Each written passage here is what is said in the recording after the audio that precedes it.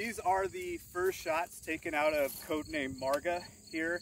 This is an MD65 kit, five parts matching from Atlantic on a Recreator Blanks MD65 marking uh, lower receiver with a Polish uh, chrome lined barrel and the AKTEL trigger.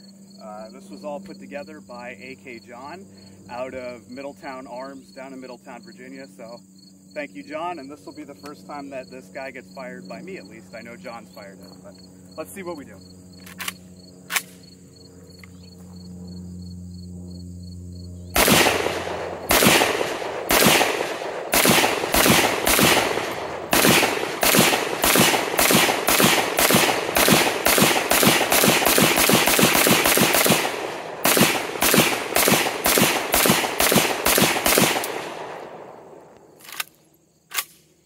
Beautiful. There we go.